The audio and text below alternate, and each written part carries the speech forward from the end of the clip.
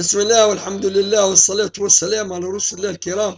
ربنا خذ بأيدينا إلى حيث حفظك بالتمام حفظك بالتمام يا حنان يا منان. يا هادي. أما بعد السلام عليكم. والله أكبر.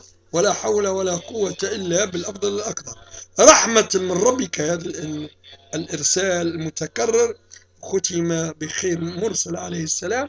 وهو نبينا محمد العربي الأمي. الوفي لعهوده مع الله رب العالمين. رحمة من ربك إنما قالش من رب العالمين هنا من ربك. شوف التعظيم لشأن الرسول الكريم عليه الصلاة والتسليم. رحمة من ربك إنه هو يعني دائما أقرب أحد لك هو يا محمد هو ربك الذي يعصمك من الناس وهو ربك الذي اختارك من دون خلقه حتى تختم الرسالات السماوية. خير خير ختم. فأنتجت على يدك من خلال القرآن وأسوتك الحسنة أمة لم يسبق لها مثيل وبشهادة المولى كنتم خير أمة أخرجت للناس تأمرون بالمعروف وتنهون عن المنكر وتؤمنون بالله. الوقت اللي أنتم عطلتم بكل حيل من وقت بني أمية ما ساعدهمش. بني أمية باش الناس تعرف الحقيقة خاطر مش يدوروا عليهم ويقلبوا لهم شعبهم. هيك وعد ولا الحكاية حرب الأمر بالمعروف والنهي عن المنكر انتهت ما عادش أم. تشتتت. الحمد لله. بقوا بقى القليل من العلماء والمجاهدين وربي بلغ لهم آه، مبتغاهم. انتصروا بدعوتهم إلى الرجوع إلى الله وانتصروا بشهادتهم. ومجر وعلى كذلك على طريق سائرون. ولهذا حطوا في بالكم إذا كان اليوم تعانيوا من قلة الأمن. ومن آه، تدوير آه، الوجه ها؟ قالوا ولا إفساد آه، الممتلكات والمقتنيات ولا إفساد الجو العام بخبث الكلام وهلم جر والدعايات بالحساب وسبونسورين قبل حساب هذا منين جاي؟ جاي من بني صهيون. لأنكم أنتم وقت اللي عطلتم العمل بالأمر المعروف والنهي عن المنكر والإيمان بالله وليتوا مكشوفين. بنو صهيون بالسهولة التامة يخربوا لكم راحكم اللي مازال فيه شوية من الأمن والصلاح.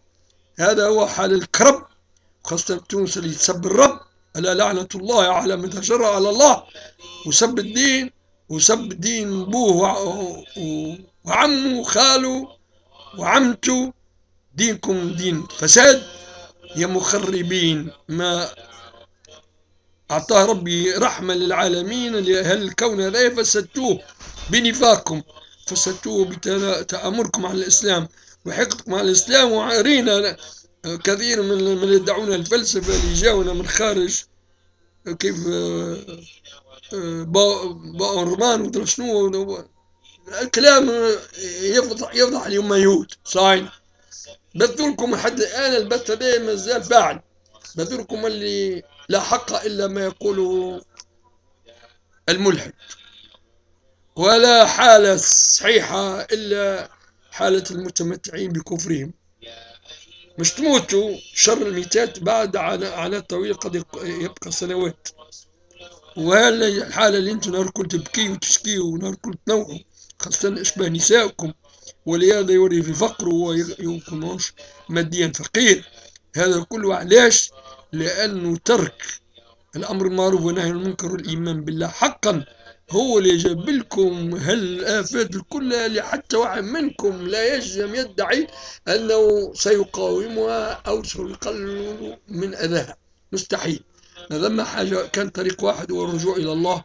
ورجوع الله يبدأ من اللحظة دي وربما يتم غدوة كان عيش عن طريق الشباب خاصة وقت اللي يمشيوا يقلبوا مجرى لوبينيون جينيرال يعني الرأي العام يقلبوه سبل على عليه وتولي بعد ما كانت الناس تحضر باش يتمكنوا أهل الفساد مرة أخرى بعد الانتخابات ينقشعوا وتجرهم اللعنات وتجرهم الأصوات وتفضحهم الصناديق ويتفوروا إلى لا رجوع على ما فات نسأل الله السلامة.